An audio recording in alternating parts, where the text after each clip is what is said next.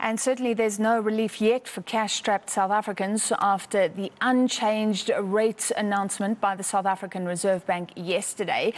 It means no significant change in how current soaring debt levels can be addressed. Uh, many South Africans simply drowning in debt. Let's bring in Annaline van der Poel from Debt Rescue. Thank you for being with us, Annaline. Is it true that we are more indebted now than ever before across the board as South Africans?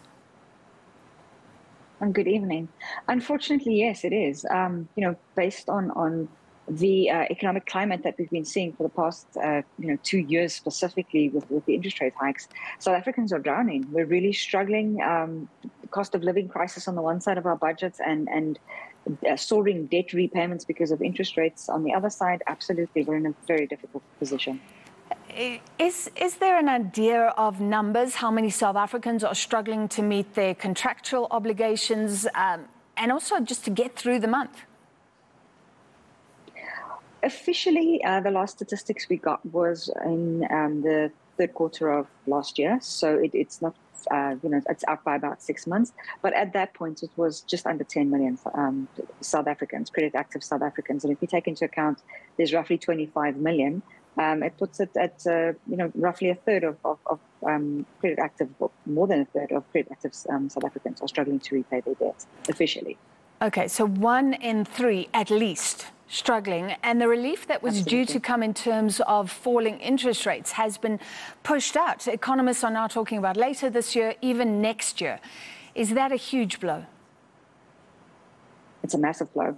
Um, you know, the, reality is the unfortunate factor that's that's been the biggest contributing one is the, the inflation. The fact that we are not getting inflation to the 4.5, which is what the Reserve Bank wants, uh, is what's halting the, the interest rates coming down. And we've seen that. Um, you know, across the world, they're at least starting to see scenarios where they, they, um, you know, uh, inflation is going down, and then subsequently, eventually, their interest rates also start coming down. Ours isn't doing that, and for as long as it, it doesn't, the Reserve Bank minister, uh, the Reserve Bank governor has been cautioning us for quite some time that uh, until it stabilizes, we will not be seeing relief. We'd hoped we would. We desperately need it, but um, realistically, it, it doesn't look like it's going to be anytime soon. So, with inflation going up, interest rates not coming down, uh, could things get even worse before they get better? Um, unfortunately, yes. I mean, e- each month inflation erodes our, our expenses, you know, expense or, or, or, our disposable income by because our expenses are increasing, which means we've got less and less money available um, and you know, even though the interest rates may have stabilized, they're not going up anymore. Our cost of living is increasing, so it is getting tougher every month. And until we start seeing the relief from the interest rates, um, it, every single month we are in essence, uh, you know, moving backwards, for lack of a, a, better explanation. We're becoming poorer because we're paying more for, for our expense side, and our debt side, uh, our debt element is remaining is remaining constantly high. So definitely, it, it, it is going to get worse if, if we do not see um, you know interest rates reducing soon. So, Debt Rescue is one of those offering debt reviews, restructuring, uh, the, the whole idea of restructuring and paying what you can afford. And it can be positive, but to what extent is it negative? Um, to what extent does it stop you from getting debt in future when the banks ask, have you been placed under debt review, for example? I'm, I'm glad you asked that question because that is something that a lot of people, um, you know, misunderstand, and, and that's the thought that if I've been under debt review, I can never get credit again, and that's not true at all.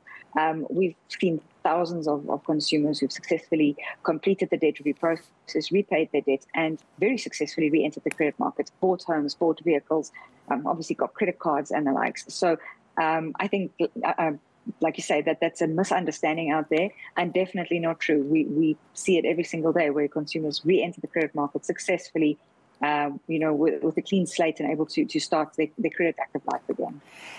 How many people would you say are successful uh, in terms of uh, starting in a black hole of debt and then coming out the other side? It's difficult to put a percentage to it. Um, I mean, obviously, it's it's it's I want to say not a new industry, but I mean, we've been around for 16, 17 years now. but I, it, so I can't give you an exact percentage. Unfortunately, only the regulator would, would have that kind of statistics. But I would say it's pretty high. Um, you know, it, it, might not necessarily go the path that a consumer initially thought. Some of them exit a lot faster, especially have, um, you know, if, uh, for example, they, their circumstances changed for the better dramatically. That happens quite often. Um, some of them, you know, might face some more uh, financial struggles uh, along the way and might stay under a little bit longer. But um, you know, th- there's a very, very high success rate and a very um, positive outcome for the for most South African consumers who who complete the process and.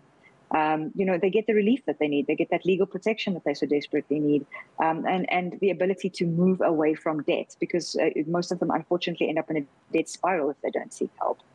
All right, thank you very much, Annaline van der Poel from Debt Rescue.